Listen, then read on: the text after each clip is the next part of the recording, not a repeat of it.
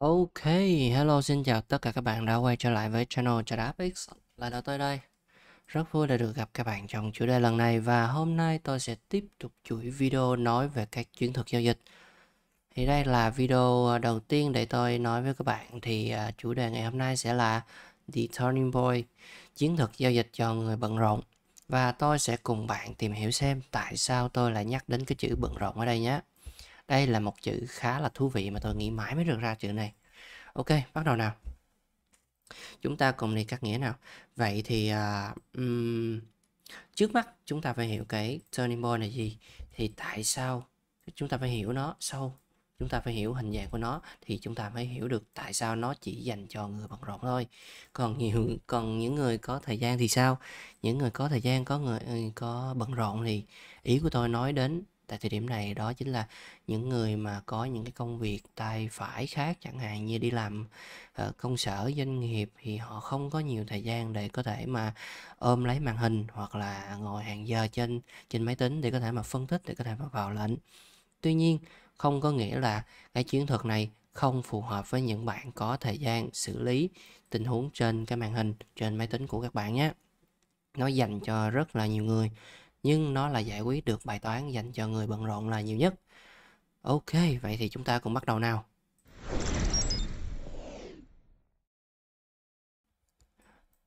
Vậy thì để uh, cắt nghĩa cho cái từ turning point thì thật ra turning point không phải là một cái khái niệm quá xa lạ đối với những bạn mà xem video với tôi đến thời điểm hiện tại.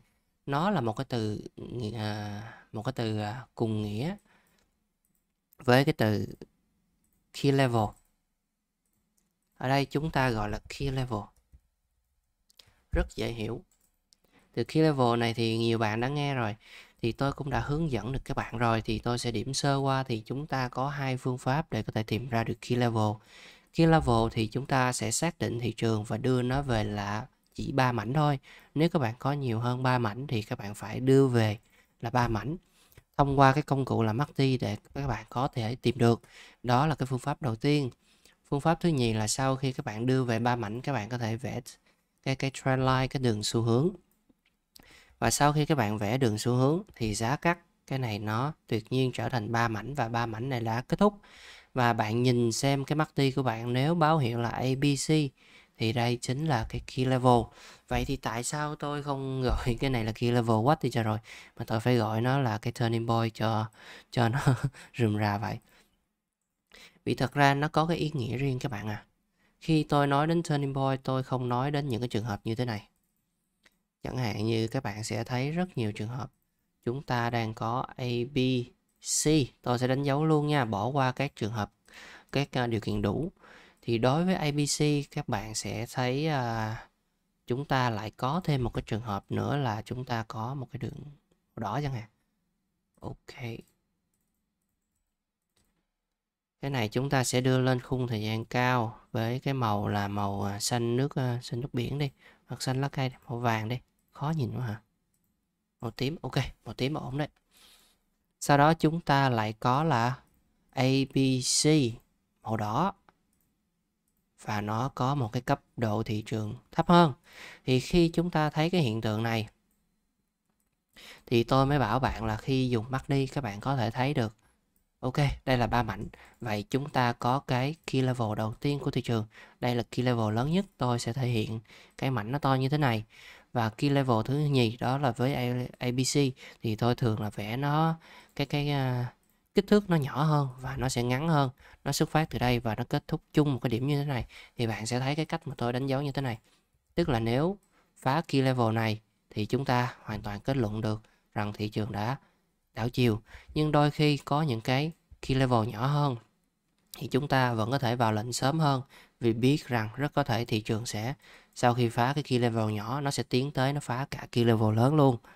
Đó là một cái mẹo. Tuy nhiên Đối với hai trường hợp này tôi chỉ gọi một nơi là turning point thôi. Tức là đây, cái key level mà sau khi giá phá vỡ thị trường, phá vỡ cái key level này thì sẽ sẽ sẽ thay đổi cái cấu trúc thị trường và hoàn toàn đảo chiều đi xuống.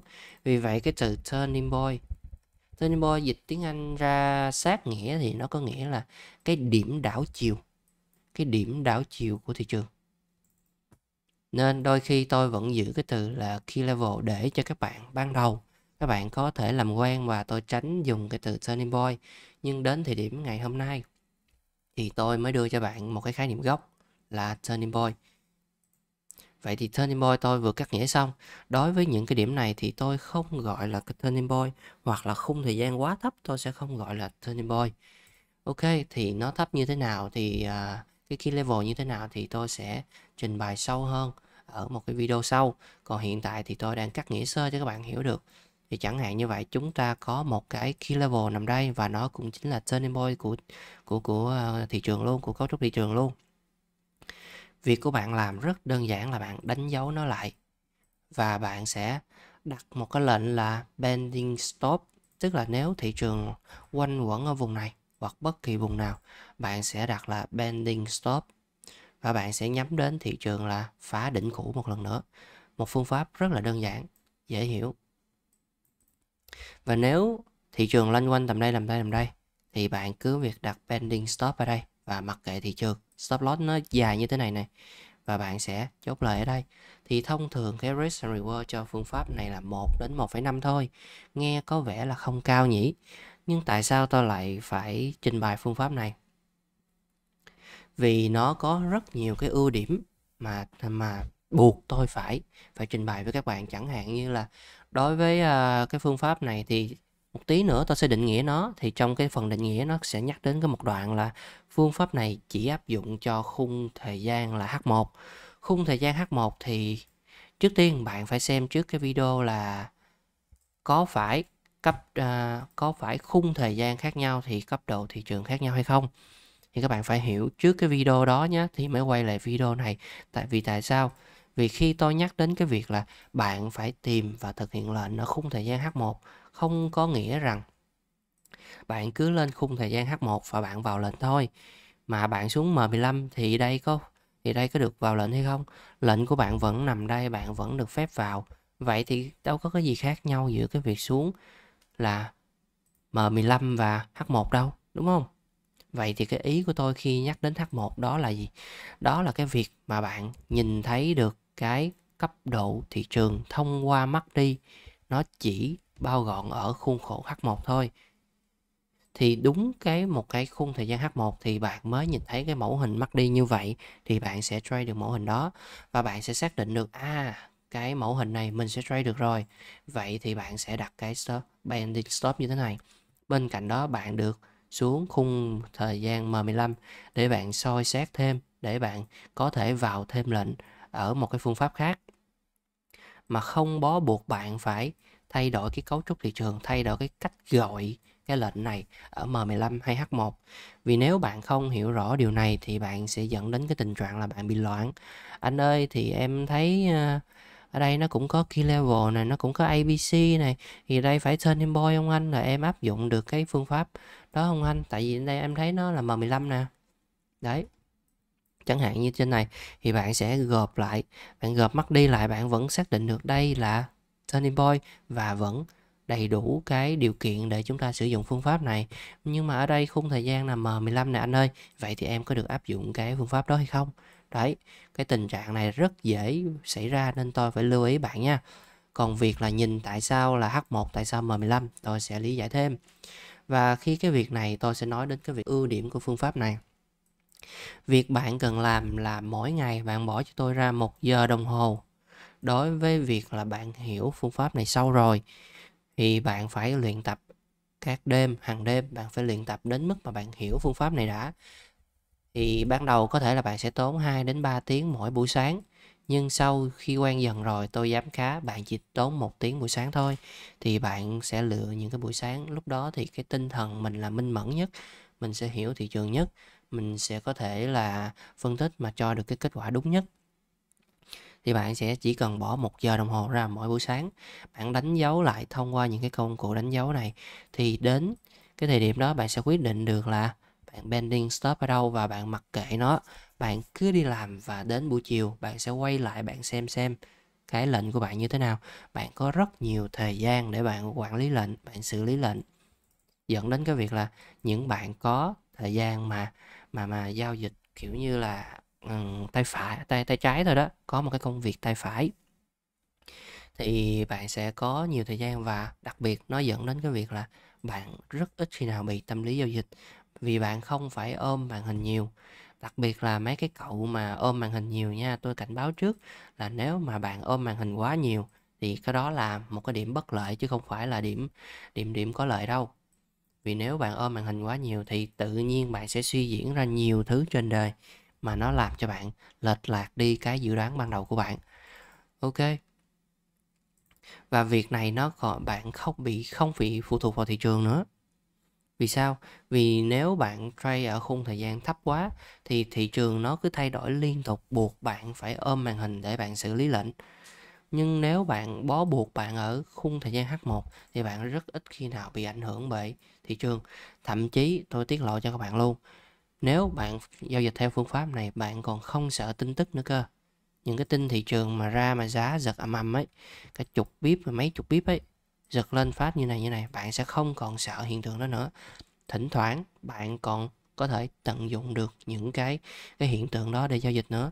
Tôi đã từng làm thử rồi chứ không phải là tôi giới thiệu suông đâu.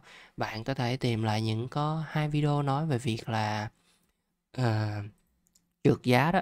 Bạn tìm hai video về trượt giá thì bạn sẽ thấy là tôi có giao dịch tài khoản Real. Thực tế tôi áp dụng cái hiện tượng này.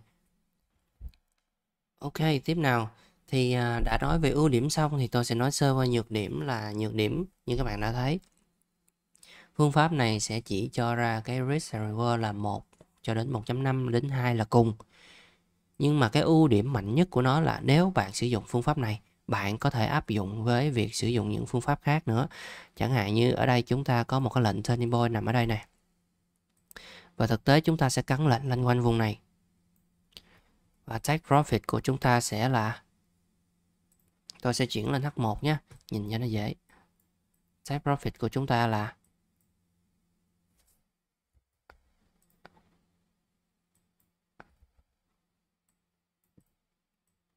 trước mắt là chúng ta sẽ thấy được là đỉnh ở đây. Thì take profit của chúng ta sẽ rơi vào tầm 3,6 và một cái ưu điểm đi kèm theo là nếu chúng ta sử dụng phương pháp này chúng ta sẽ thành một người giao dịch theo xu hướng và xu hướng chính của thị trường chính là bạn của chúng ta. Vậy thì nếu bạn giao dịch theo phương pháp này, thì bạn đã trở thành một người là trend follower, giao dịch theo xu hướng và đây chính là phương pháp giao dịch của rất nhiều trader thành công trên thế giới. Những trader mà đã đi vào lịch sử của ngành tài chính thì họ đều sử dụng phương pháp trend follower. Nhưng cái cách họ làm khác, chẳng hạn như một số người sử dụng là Bollinger Band, một số người sử dụng là Dolling Chain một số người lại sử dụng là phương pháp là dùng đường Golden Cross thông qua cái hệ thống đường MA. Với tôi thì tôi sử dụng các turning point để có thể follow xu hướng. Thì nếu lệnh này bạn làm tốt thì bạn có thể follow tận đến với tôi tôi sẽ thoát lệnh tầm đây, thì bạn sẽ được một lệnh R7 và thời gian giữ lệnh của bạn khá là lâu nhé. Khá là lâu. Và bạn sẽ không hề bị ảnh hưởng bởi bất kỳ cái cái sự diễn biến nào trên thị trường cả. Vì vậy, bạn sẽ tham gia vào cái giới là giao dịch trung hạn và dài hạn còn đối với những bạn ngắn hạn, bạn phải học phương pháp này luôn. Tuy nhiên cách vào lệnh của bạn sẽ tinh chỉnh hơn và bạn sẽ không vào lệnh ở đây. Chẳng hạn như bạn biết được đây sẽ là nơi mà các trung hạn và dài hạn, các người tham gia thị trường trung hạn và dài hạn vào lệnh. Vậy thì tại thời điểm này, bạn đã biết được xu hướng rất có thể sẽ lên thì bạn sẽ chờ một vùng hồi và bạn sẽ bay lên, bạn sẽ chốt lời, bạn chờ vùng hồi, bay lên, chốt lời bay lên chốt lời, bay lên chốt lời. Bạn sẽ ăn ở những cái cơ hội ngắn hạn. Vì vậy, để có thể sử dụng được cái phương pháp này nhuần nhuyễn thì một cái nhược điểm mà nó đòi hỏi bạn đó chính là bạn phải am hiểu cấu trúc thị trường rất là sâu. Vì vậy, đây là một phương pháp chung cho mọi người. Nếu thích trung hạn, dài hạn thì đây sẽ là phương pháp vào lệnh của bạn luôn. Còn nếu bạn chỉ thích hoặc là chỉ phù hợp với ngắn hạn, bạn rất là bị tâm lý giao dịch khi mà phải ôm lệnh quá lâu thì đây sẽ là một cái cách để bạn nhìn cấu trúc thị trường và nó sẽ cải thiện cái cái khả năng am hiểu của thị trường của bạn rất là lớn. Ok, vậy thì tôi đã giới thiệu cho các bạn hiểu được tại sao các bạn phải nên học như cái này. Ai nên học và những người nào nên xem nó như là một cái công cụ phân tích thị trường. Những người nào nên xem nó như là một cái cách vào lệnh. Ưu và nhược điểm của phương pháp này ra sao. Ok, vậy thì những cái video lần sau tôi sẽ đi sâu vào việc định nghĩa nó cũng như là cái cách dùng nó trên thực tế. Và video lần này đến đây là hết rồi. Chúc các bạn một ngày giao dịch thật nhiều thành công. Xin chào và hẹn gặp lại ở video lần sau.